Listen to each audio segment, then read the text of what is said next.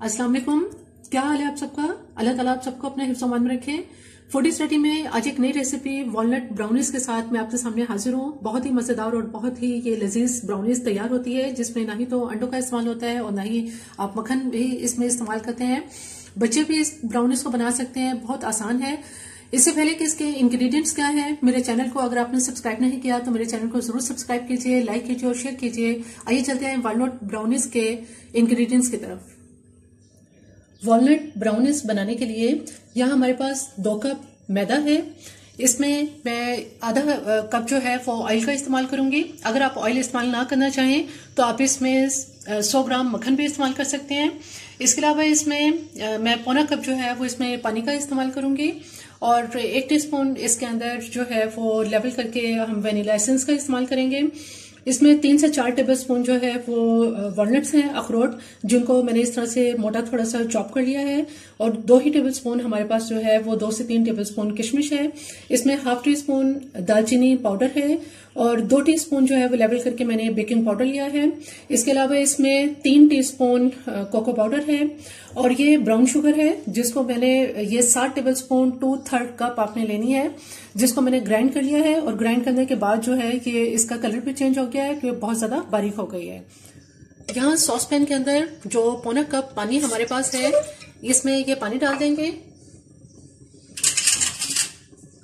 और इसके अंदर ये सात टेबल स्पून यानी two third cup brown sugar डाल देंगे ताकि ये अच्छी तरह से इसके अंदर मिक्स हो जाए। साथ ही इसमें आधा कप ऑयल डाल देंगे। अगर आप मक्खन इस्तेमाल कर रहे हैं तो उस सूरत में आप इसमें मक्खन डालेंगे ताकि मक्खन जो है वो पानी गर्म होने के साथ साथ डिजोल्व हो जाए।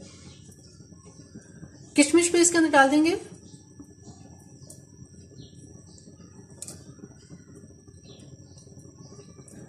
मैंने चूँकि इसके अंदर चीनी पिसी हुई इस्तेमाल की है, इसलिए ये बहुत जल्दी डिजोल्व हो जाएगी। चीनी इसके अंदर डिजोल्व हो चुकी है। अब इसका चूल्हा मैं बंद कर देती हूँ और इसको थोड़ा सा ठंडा कर लेते हैं।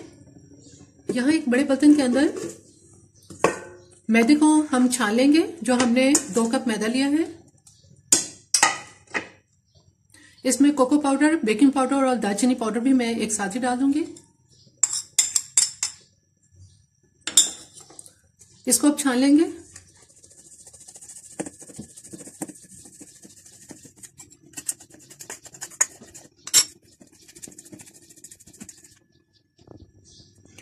छानने के बाद इसको अच्छी तरह से मिक्स कर लेंगे ताकि कोको पाउडर और मैदा बहुत अच्छी तरह से मिक्स हो जाए।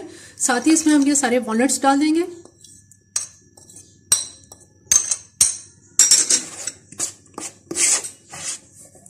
इसके अंदर जो हमने ये चीनी और ऑयल का सिरप तैयार किया है, ये इसके अंदर डालेंगे।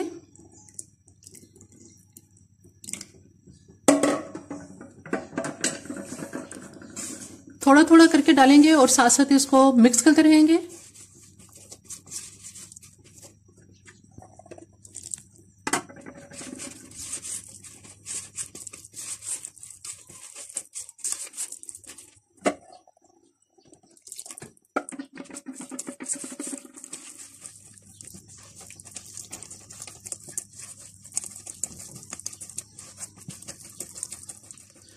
बैटर बहुत अच्छी तरह से इसके अंदर ये तैयार हो चुका है ब्राउनिस का। इसकी कंसिस्टेंसी आप देख सकते हैं कि ये इस तरह से पोरिंग कंसिस्टेंसीज में ये आ चुकी है।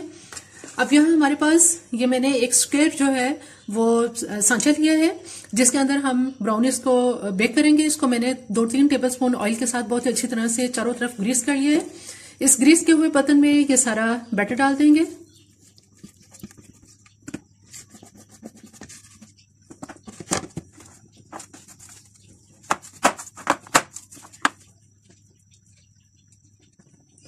यहाँ देखिए, पंद्रह मिनट से गर्म हो रही है। मीडियम आँच पे मैंने इसको गर्म किया है। इसमें हम पहले स्टैंड रखेंगे और स्टैंड के ऊपर ब्राउनिस का ये हम बर्तन रख देंगे और इसको मैं बेकर लिए रख दूँगी।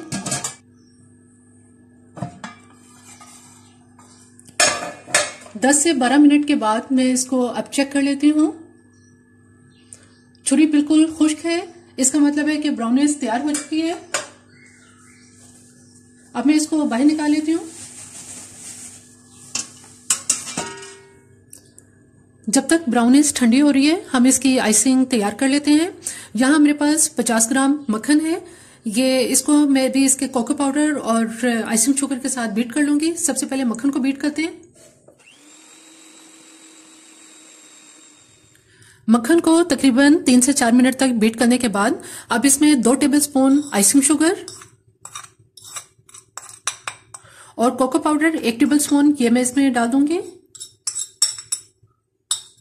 इसके साथ इसको, मजीद इसको बीट करेंगे।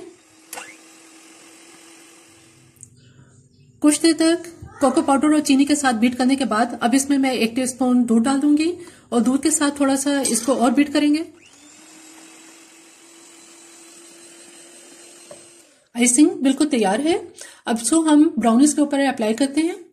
ब्राउनीज को मैंने प्लेट में निकाल लिया है।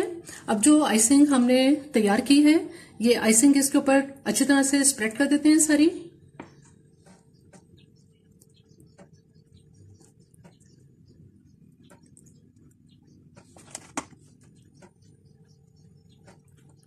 ब्राउनीज पर आइसिंग लगाने के बाद हम इसके ऊपर अखरोट लगा देंगे।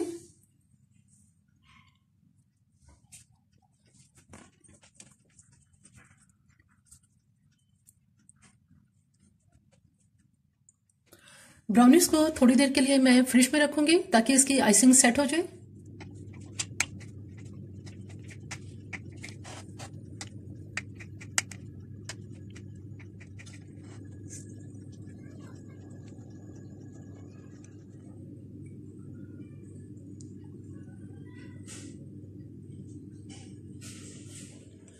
ब्राउनीज बिल्कुल तैयार है। फ्रिज में तकरीबन 10 मिनट तक मैंने इसको रखा है। जिसके बाद इसका जो हमने इस पर आइसिंग लगाई है, वो बहुत अच्छी तरह से सेट हो चुकी है।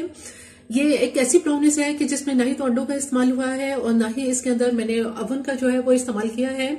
बहुत ही मज़ेदार और बहुत ही लजीज ये ब्राउनीज है, जो कि झटपट तैयार हो जाती है। मेरी ये रेसिपी आपको पसंद आई तो मेरे चैनल को ज़रूर सब्सक्राइब कीजिए लाइक कीजिए और शेयर कीजिए। सब्सक्राइब के साथ बेल आइकॉन को ज़रूर प्रेस करें। ऑल के ऑप्शन पर क्लिक करें ताकि हर आने वाली वीडियो का नोटिफिकेशन आपको मिल सके।